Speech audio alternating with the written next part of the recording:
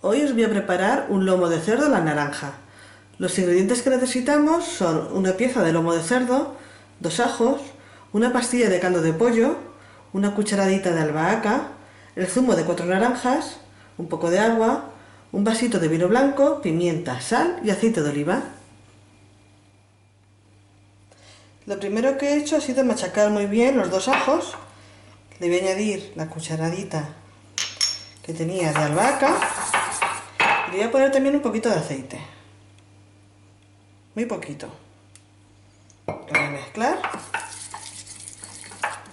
Y ahora, esta mezcla que tenemos aquí preparada es la que le voy a poner a la carne por encima, junto con un poquito de sal y pimienta. O con una brocha, le voy untando bien por todos los sitios.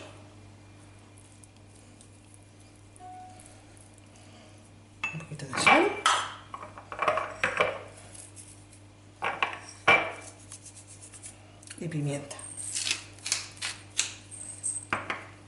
Y hacemos lo mismo por el otro lado, por el otro lado de la carne.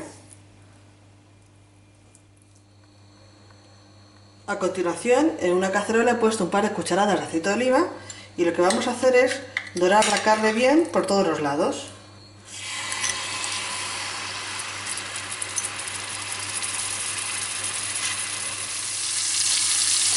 Una vez dorado, le voy a añadir el vasito de vino blanco,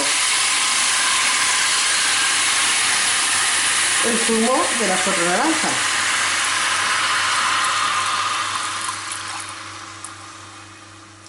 el agua, casi casi hasta que lo cubramos. No hace falta que lo cubramos del todo, pero sí que tenga bastante líquido. Así.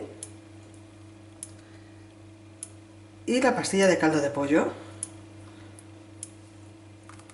Vamos a subir el fuego y le voy a tener cociendo entre media hora y 45 minutos. Y a mitad de cocción tenemos que probar el punto de sal para ver si está un poquito soso y añadirle un poco.